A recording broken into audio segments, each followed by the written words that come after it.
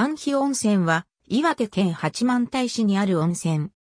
本来の安比温泉は、八幡平への安比高原側からの登山道から入ったところにある野湯であるが、近年は安比高原に開発された温泉街も指す場合が増えている。本校では両方とも記載する。野湯は入浴施設は湯船のみである。湯船は有志により整備されているが、経年劣化などにより朽ちていることもある。また、常に快適に入浴できる状態とは限らず、到着して入浴可能な状態にするまで整備を要することもある。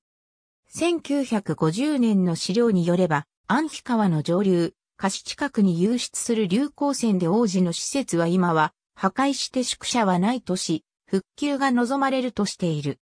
秋田県立大館中学校の教師である斎藤慶三は新築直後と崩壊後の安比温泉を訪ね、その記録を随蔵さんと旅に記述している。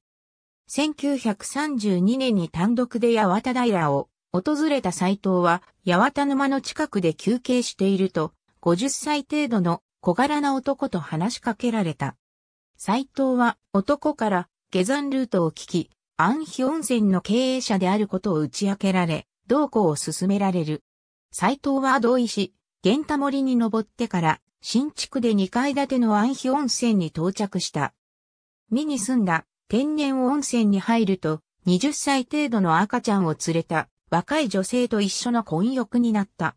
鮮烈な印象を残しつつ、それから1時間ほど宿の主人と会話した後、宿を後にした。二度目の訪問は、戦後の1947年代間、中学校山学部の引率として、岩手山や八幡平に登った後に、虫の湯温泉を通って下山するグループと別れ、安比温泉に向かった。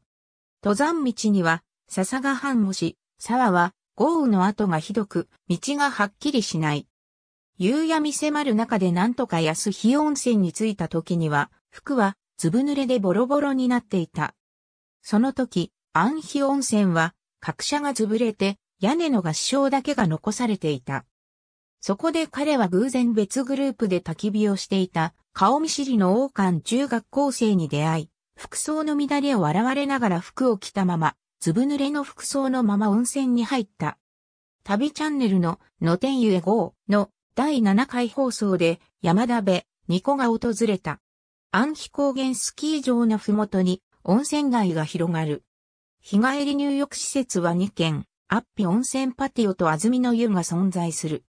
ただし、スキーリゾート開発の一環として開発された温泉であり、温泉街としての雰囲気は乏しい。町営の日帰り入浴施設、安曇の湯ができたのは1993年12月22日である。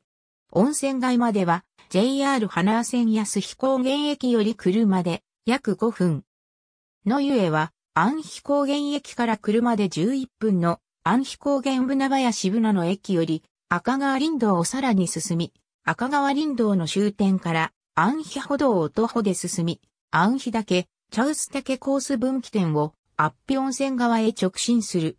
途中、水深は浅いが、沢渡りが必要。登山道は約 3km、45分程度。ありがとうございます。